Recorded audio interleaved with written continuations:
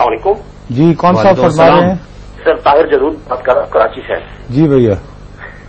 Sir मैं जैसे आप भी तजिया करते हैं मैं तो खैर इतना कोई बड़ा साइंसदान या सियासतदान नहीं नहीं। हूँ लेकिन जितनी मेरी सोच है मैं समझता हूँ कि इस पूरे वाक्य में कहीं ना कहीं हुकूमत इन्वॉल्व है और डायरेक्टली या इनडायरेक्टली अमेरिका की इन्वॉल्वमेंट बहुत ज़्यादा है कराची के वाक्य में।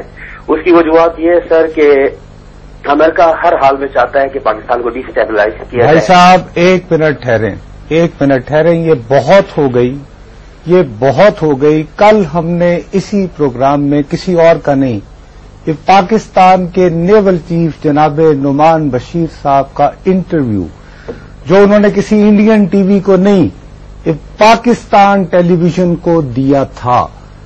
और पाकिस्तान टेलीविज़न को इंटरव्यू देते हुए पाकिस्तान के नेवल चीफ ने बहुत तफसील से ये फरमाया कि पाकिस्तान की अब फौज ने ऑपरेशन राह निजात और ऑपरेशन राह रास्त में दहशतगर्दों के खिलाफ जो कार्रवाई की थी, उसमें पाकिस्तान नेवी के उन तैयारों का क्या किरदार था जिनको तबाह किया गया है। अब भी अगर अमेरिका को लाना है उसकी वजह हो रही है तो मुश्ताक। उसकी वजह ये नहीं मैं अब तुम्हें जो मैं जो मैं तुम्हें दो चार दिनों से कह रहा हूँ मैं तुम्हें बार बार कह रहा ही। ये जो बलूंगड़े छोड़े गए हैं ना बलूंगड़े खुद छुप जाते हैं। वो लाल पीली टोपियों वाले मसखरे जिनको बहला फुसला के आपको पागल खाने लेकर जाना चाहिए। किसी तरह फिर जंजीरों से बाँध दो। वो बैठ के मैं? मज़ाक नहीं कर रहा हूँ तुम्हें। देखिए हर किसी ये लाल टोपियों वाले पीली टोपियों वाले मस्खरे इनको बहला फुसला के टीका लगाओ किसी तरह। उस टीके से इन तो लोगों को बुलाते हैं इनके हैंडलर। इंडिया ने करवाया आप कहें ना भाईजान अमेरिका ने करवाया है। देखिए अमेरिका हमारे पीछे है। और लोग समझते हैं कि नहीं, पाकिस्तान की फौज इन मस्खरों के ज़रिए बात करती है। बात करनी है वज़ीर आज़म आज इजलास खड़ा हुआ है।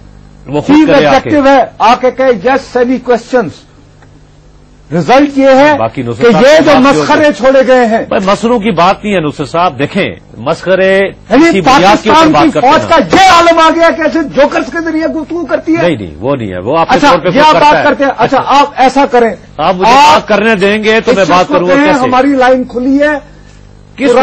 पाक कलाम पाक उठा के ये लाल नीली बात कर रहे हैं आप वाले क्यों? को कहो कि क्या इसने पाकिस्तान की फौज का नाक में दम नहीं कर रखा था कि मैं यूनिट्स को खताब किया करूँगा उन्हें मोटिवेट किया करूँगा? अच्छा नुसर साहब खुदा के लिए। देखिए आप और बड़ी मुश्किल से फौज ने कहा कि हमारे यूनिटों को छोड़ ना दें। नुसर साहब मेहरबानी करें। बस देखिए मेरी गुफ्तगू तो आप सुने ना आपने अपनी सुना दी बहुत इसलिए अच्छा फिर हमारी खुदा ये कहती है। अमरीकनों